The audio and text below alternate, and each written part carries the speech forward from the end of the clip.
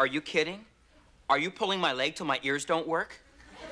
Let me get this straight so I can laugh till I get old and die. You want me to work for minimum wage? Right? Hmm? And let me guess. You get the rest of the money? Say maximum wage? Oh, do I get to wear a paper hat too? Minimum wage. Hmm. Maybe I missed something, but I thought Abraham Lincoln had freed the slaves. And even slaves didn't have to pay off their student loan. You know what? It's my fault. It truly is. See, I should have checked the mirror before I left the house this morning because I obviously have the word dork stenciled on my forehead. Hmm. Minimum wage. Do I want to work for as little money as is legally possible? Let me carefully consider your offer. Oh, I've got the answer here in the pocket of my $350 suit jacket.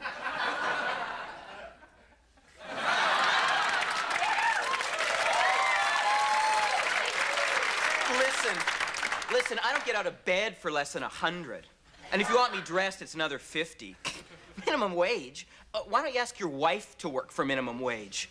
Why don't you work for minimum wage, Pete Brown Shoes? You know, it would be a better career move if I just got drunk and sold my blood. minimum wage? That's not a salary. That's an honorarium.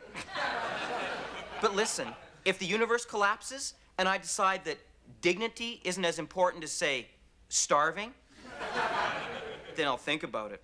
yeah, right.